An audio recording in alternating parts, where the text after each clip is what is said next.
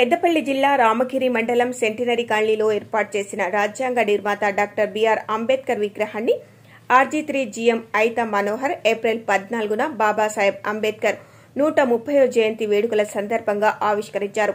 అనంతరం cake cut చేసి స్వీట్లు పంపిణీ చేసి వారు మాట్లాడుతూ ఈ రోజు ప్రతి ఒక్క వ్యక్తి స్వేచ్ఛగా స్వతంత్రంగా జీవిస్తున్నాడు అంటే దాని వెనుక అంబేద్కర్ గారి శ్రమ కృషి ఫలితం ఉంది అని అన్నారు.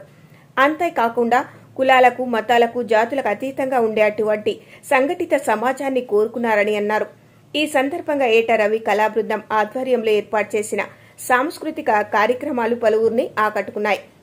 ఈ కార్యక్రమంలో ఏపీఏజీఎం శ్రీనివాస్ రాజేశ్వరరావు నాగేశ్వరరావు గౌతమ్ శంకరయ్య శ్రావణ్ కుమార్ బత్తుల శంకర్ కండి రాజన్న పాల్గొన్నారు.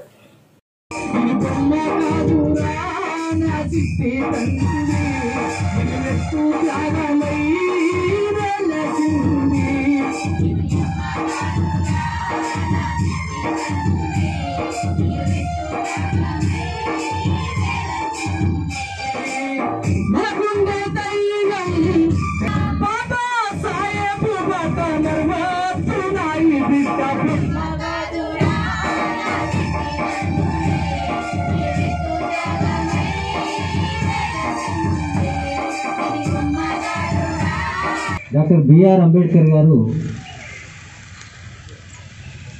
ఒక సంఘటితమైనటువంటి సమాజాన్ని కోరుకున్నారు. కులాలకు మతాలకు జాతులకు అతీతంగా ఉండేటువంటి సంఘటితమైనటువంటి ఒక సమాజాన్ని కోరుకున్నారు. నూటికి నూరు శాతం అక్షరాస్యులుగా ఉండాలి అని చెప్పేసి డాక్టర్ బిఆర్ అంబేద్కర్ గారు కోరుకున్నారు.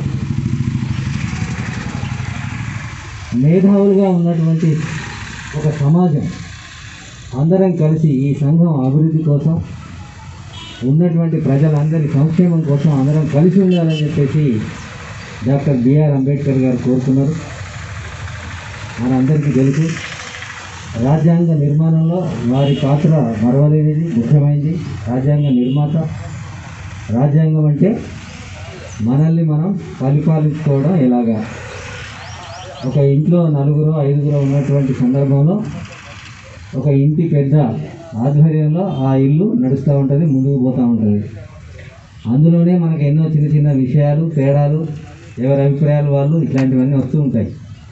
అలాంటిది నలుగురు ఐదుగురు ఉన్న ఒక ఇల్లు కాదు ఒక వాడ కాదు ఒక ఊరు కాదు కోటాను కోట్ల మంది ఉన్నటువంటి మన దేశంలో మనల్ని మనం ఏ రకంగా పరిపాలించుకోవడం అని చెప్పేసి ఆ యొక్క గ్రంథాన్ని రాజ్యాంగాన్ని తయారు చేయడం అనేది మామూలు విషయం కాదు. ఇందుకు గాను మనందరం గౌరవనీయులు డాక్టర్ బిఆర్ అంబేద్కర్ గారికి రుణపడి ఉన్నాము అని చెప్పడంలో ఎలాంటి సందేహం లేదు.